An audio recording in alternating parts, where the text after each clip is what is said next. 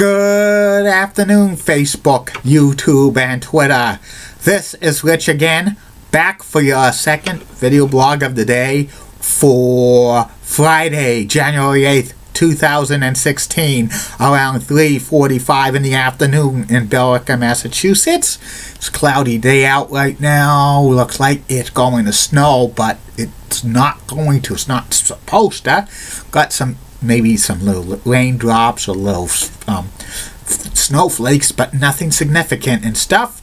And it's going to be a kind of a dull weekend weather-wise. Not going to see the sun. Sunday's a washout, but highs in the 50s and stuff with a lot of rain. Some news to report. Um, Powerball is now up to $800 million, the high, high jackpot.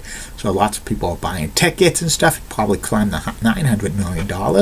But the odds of you winning Powerball is not that great. 1 in 225 million. And the Montreal Canadiens goaltender Carey Price is going to be out three more weeks with a lower body injury. That's not healing light, so he's going to be lost until after the All Star break. And that's about it on the news. My second video blog subject of the day is about one of the most legendary tag teams in professional wrestling history. The Fabulous Freebirds. The Fabulous Freebirds were Michael P.S. Hayes, Buddy Roberts, Buddy Jack Roberts, and Terry Bam Bam Gordy. Later on, it was Jimmy Jam Garvin in the WCW version. And the Fabulous Freebirds were probably one of the most important heel teams of all time and stuff. They went from territory to territory, probably one of the lead villains on each territory. They're known for the famous Von Erich feud in World Class Championship Wrestling that made that territory and stuff.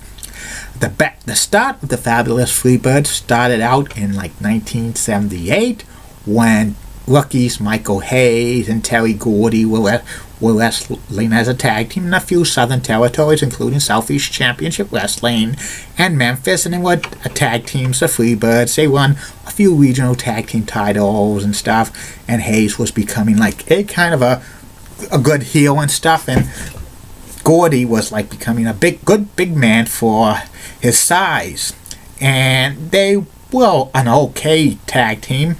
But like in 1979, they went to Mid South Wrestling, headed by Cowboy Bill Watts, and they added a third member, veteran wrestler Buddy Roberts, who was famous for teaming with Jerry Brown in some regional territories as the first incarnation of the Hollywood Blondes, with Buddy Roberts as their like veteran leader to keep like Gordy and Hayes kind of uh, under control backstage because they were kind of new to the business. The Freebirds flourished as like a great tag team, and Michael Hayes became one of the top heels in wrestling in 1980 when he accidentally blinded the junkyard dog with the Freebirds shaving cream. The junkyard dog was like blind and stuff, even though this was an angle.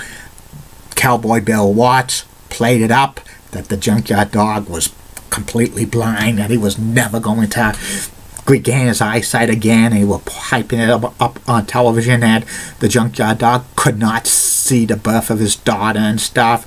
And to protect this angle, the junkyard dog had to stay at home for a few weeks and stuff. And a lot of fans were concerned about the junkyard dog. They mailed they mailed the junkyard dog money to the offices of Mid South wrestling and this was legit, but most of the money they were given were, were monopoly money and stuff. And they eventually had the blow off angle of the junkyard dog coming to the ring, like blinded in the Superdome to face Michael P- Hayes and stuff. But eventually, like he rega- miraculously regained his sight and beat up on Michael Hayes for the big blow off. He wasn't he wasn't really blind and stuff. It was just a wrestling angle, and that was probably one of the most famous angles in Mid South Wrestling history.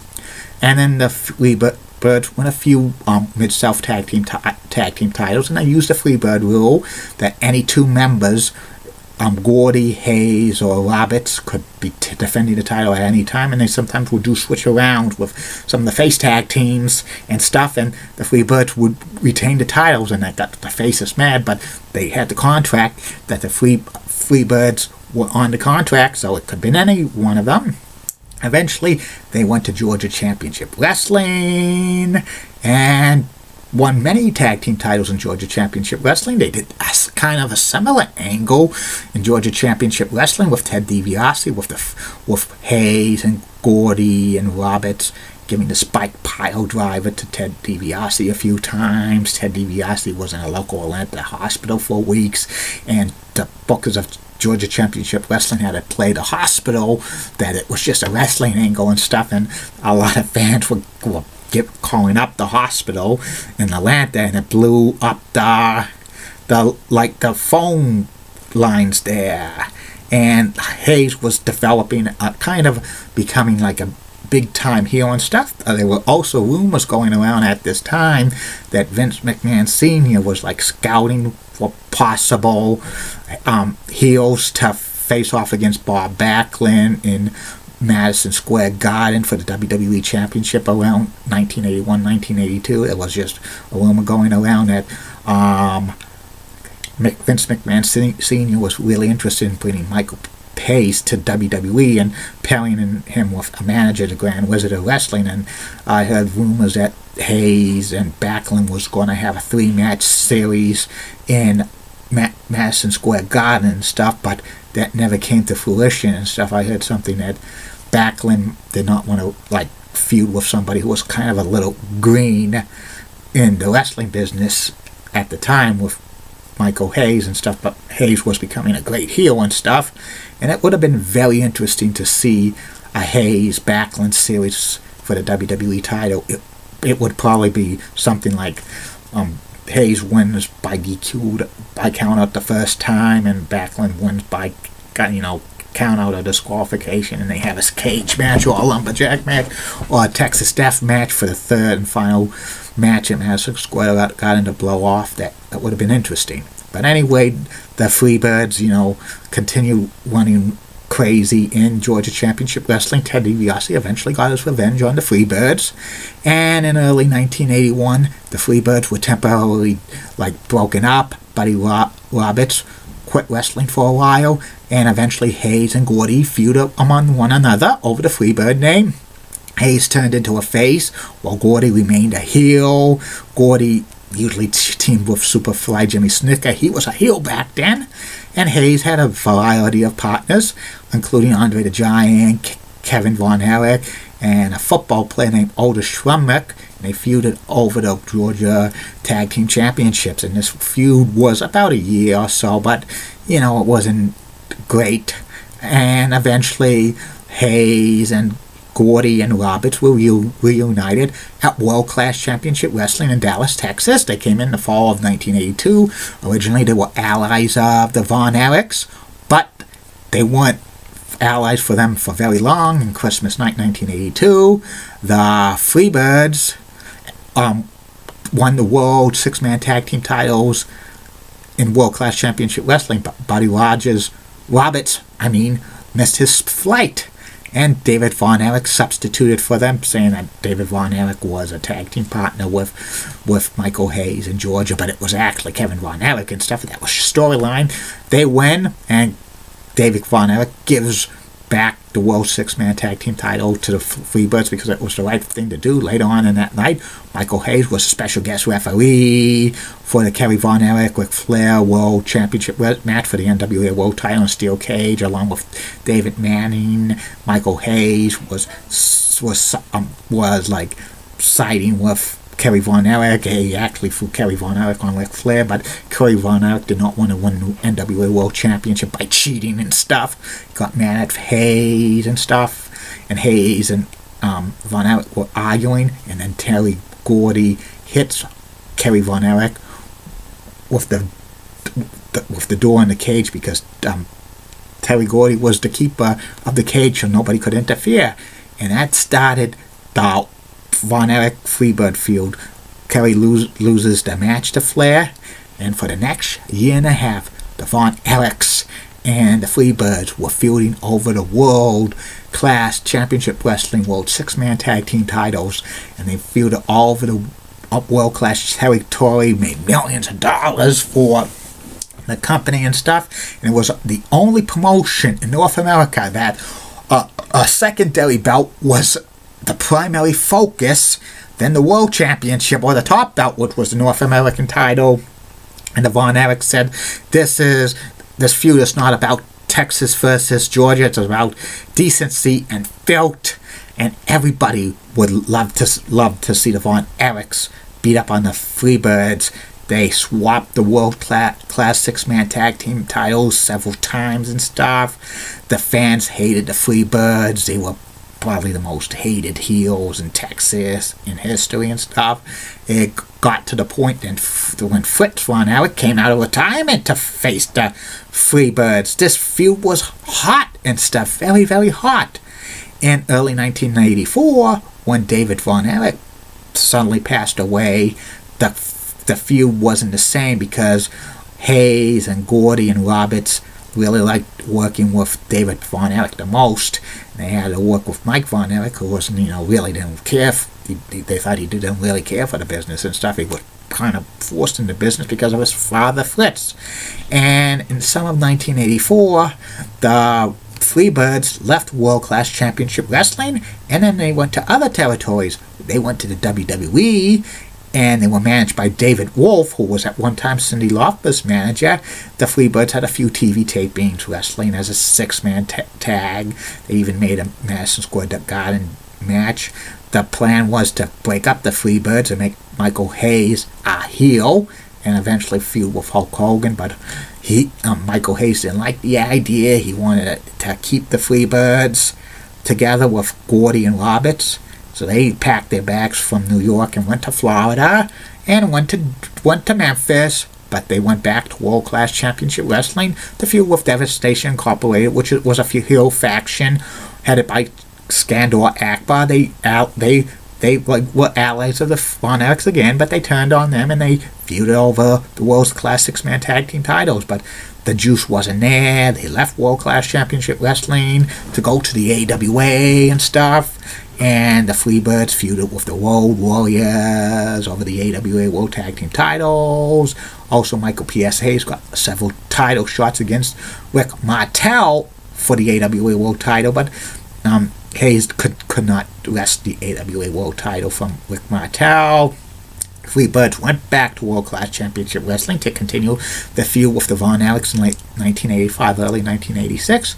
But around February of 1986, the Freebirds left World Class Championship Wrestling to go back to Mid South Wrestling, headed by Bill Watts. Bill Watts was rebranding World Class, I mean, Mid South Wrestling as the Universal Wrestling Federation to compete with WWE and Jim Crockett Promotions to lead NWA territory.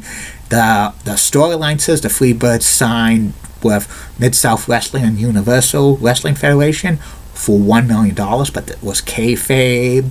The Freebirds had a decent run in the rebranded Mid South Wrestling, Universal Wrestling Federation, fielding with the top faces, including Hacksaw Jim Duggan and Ted DiBiase and Dr. Death Steve Williams, but it was kind of short lived because it's around this time that Terry Bam Bam Gordy signed a contract to wrestle in Japan, and and half the time he had a, he wasn't in the major storylines for um, the Freebirds and stuff. They had to do injury angles. Terry Gordy actually won the Universal Wrestling Federation World title briefly and stuff.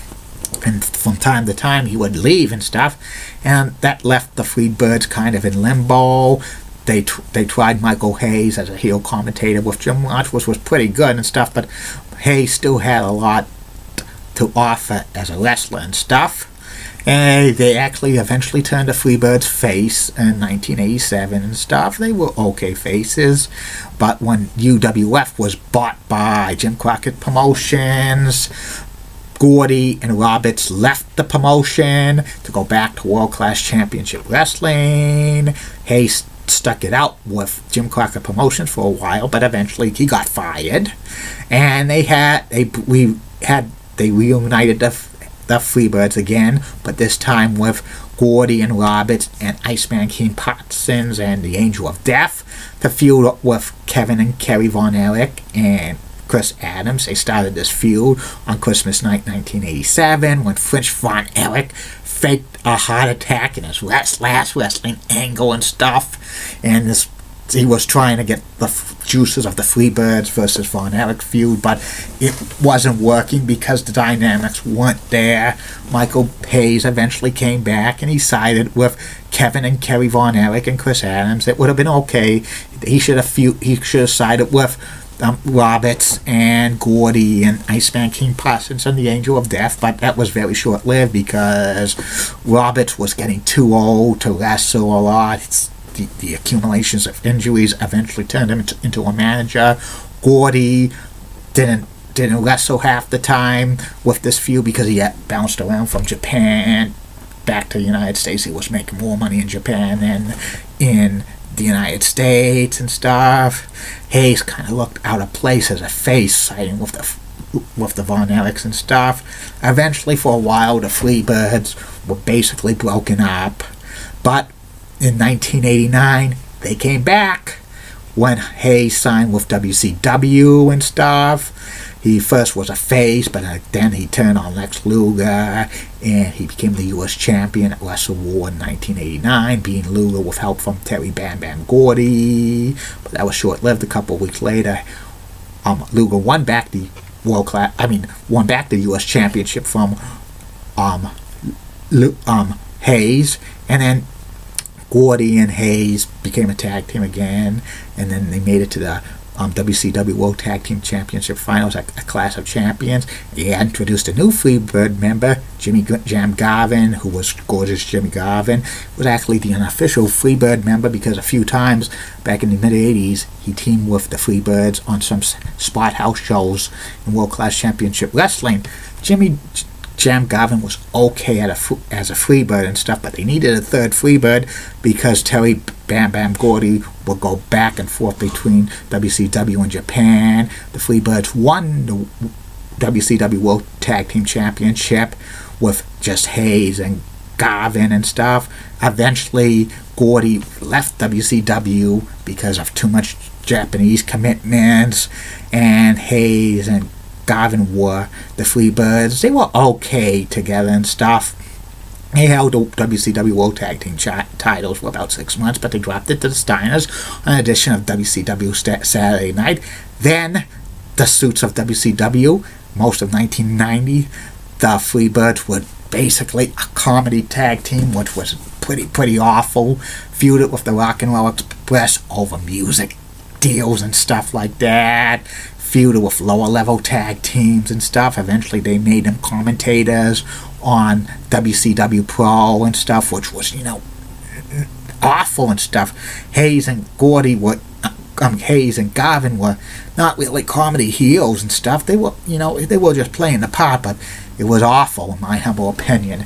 Uh, eventually, um, Hayes and Hayes and, and Garvin were feuding with Southern Boys, which was Tracy Smothers and Steve Armstrong and stuff. They briefly brought back Buddy Roberts in the fall, but that was just a for few TV tape-ins, and I and the, the uh, plan was to have the Freebirds feud with the Southern Boys and Bob Armstrong, but the head of WCW at the time, Jim Herd, did not want Buddy Roberts and Bob Armstrong wrestling in the league because I thought they were too old and stuff. So so stu- stupid in my humble opinion and stuff. Because you know I think they just he just didn't like the way it was.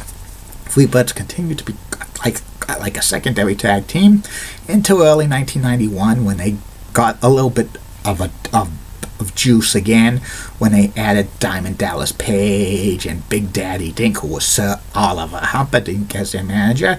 They beat Doom, Ron Simmons, and Butch Reed for the WCW World Tag Team titles as Wrestle War 91. And they had a couple week reign as World Tag Team Champions, but they lost it to the Steiners on a TV taping. Actually, the Steiners won it several weeks before um, before they were going going to win at Wrestle War 92. It was um, 91 because it was taped.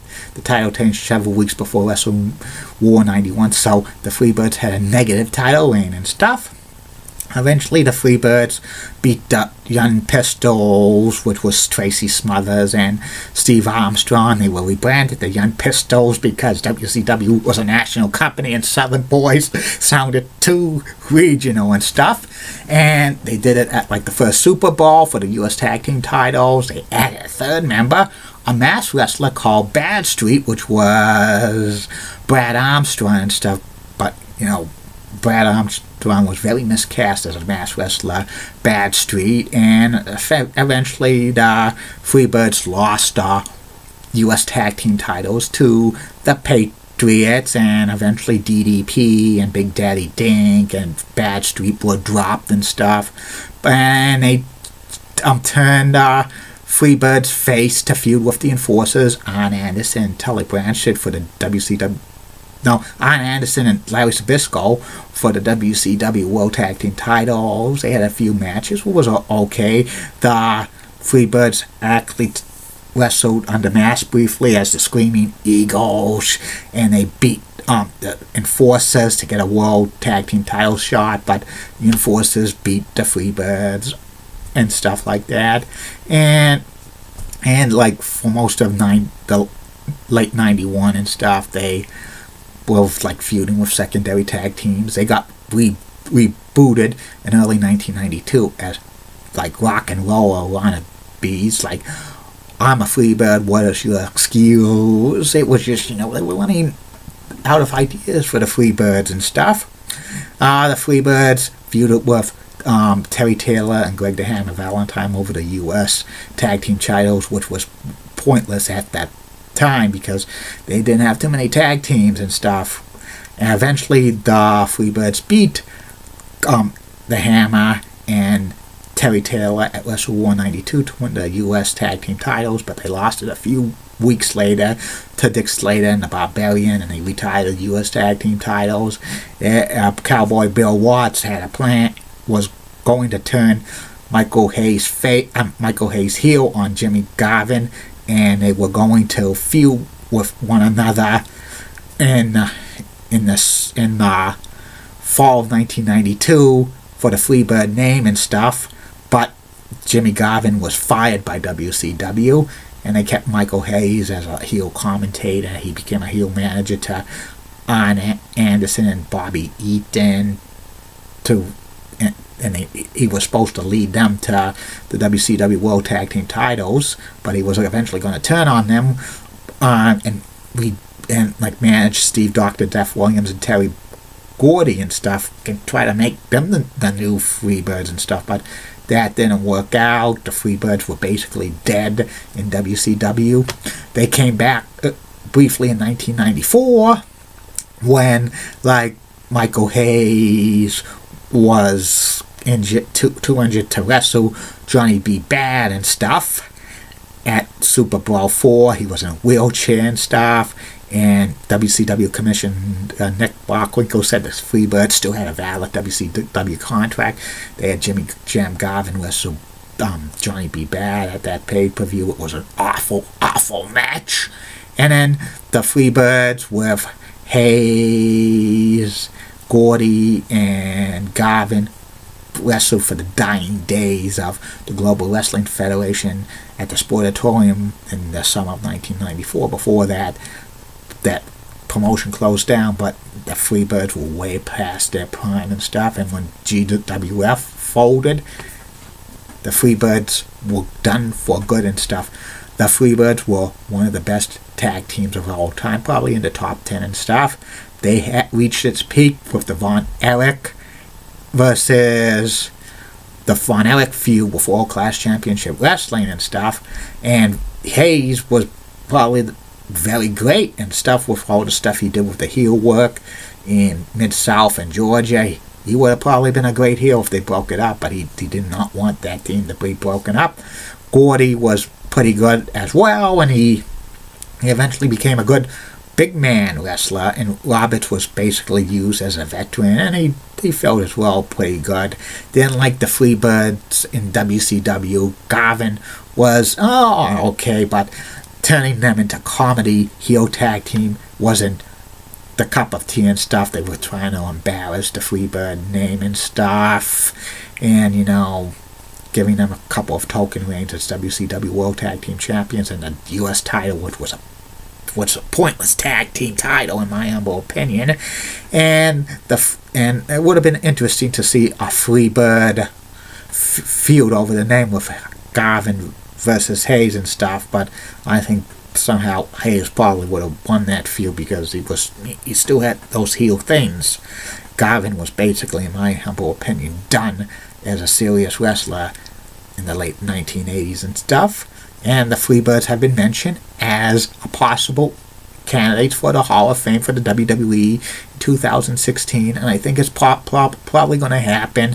And they're probably going to induct Hayes, Gordy, Roberts, and Garvin and into the Hall of Fame and stuff. They sh- it should be just Hayes, um, Gordy, and Roberts. Two of them are no longer with us, Gordy and Roberts. But you know the WWE will have to induct all of them. And that's about it on that. Be back for the third and final video blog of the night, which will be about um, Fox 25 um, news anchor in the morning, Sarah Wall. Sarah Underwood. Keep calm, everybody. I'm a Julie Bunny guy. Molly Rosenblatt of WCCO rocks and has less nice legs. Elizabeth Hart's the best. Amy Swansea so so cute and awesome. And in the words of Bob Whitting, former executive director of the Boys and Girls Club, Grey Bell, I've got the more to mail you by now.